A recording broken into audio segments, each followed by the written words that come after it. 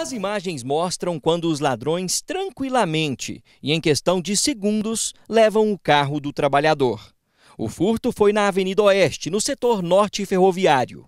Era noite de quinta-feira, noite não, fim de tarde, início da noite, ali entre seis, seis e meia, por aí. O Christopher trabalha o dia todo num lava-jato aqui no setor aeroporto, lavando carros. Na parte da noite, para complementar a renda, ele trabalha como churrasqueiro, assando ali espetinhos nessa jantinha, que fica na Avenida Oeste, no setor norte ferroviário.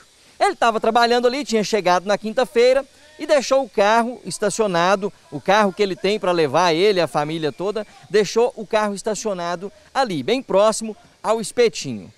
Quando ele chegou ali para pegar o carro, para olhar, o que, que tinha acontecido, Christopher? O carro tinha sumido. Tinha roubado meu carro. Você está com esse carro aí há quanto tempo? Eu tenho só quatro meses que eu comprei o carro. E você trabalha durante o dia no Lava Jato, à noite na jantinha? À noite na jantinha para complementar e mora a renda. onde? Moro no Gentil Meirelles. Então sem o carro fica complicado. Totalmente complicado. Como é que é a sua rotina com, com o carro? A minha rotina com o carro é de casa para o serviço, do serviço para casa. Esse carro não é um luxo, esse carro é uma necessidade.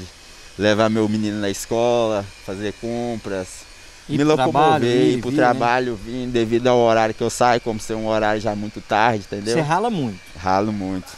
E aí você rala desse tanto quando vê que cara folgado, né? Porque ladrão é folgado, essa raça. Vai Verdade. e pega o seu carro ali que você deu um duro danado. E é um carro até antigo, né? Que ano que é é? antigo, 98. Um carro ano 98. E ainda não acabei nem de pagar o carro.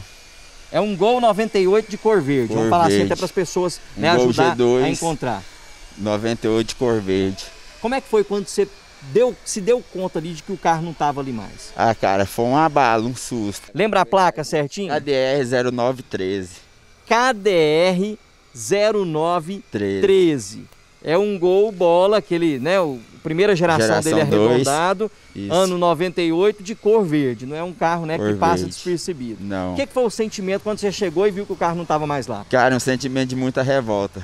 Porque a luta diária da gente não é fácil, entendeu? Não é fácil, muita correria do dia a dia. Pra levar o pão pros meus filhos, pra não deixar nada faltar em casa, viver uma vida digna.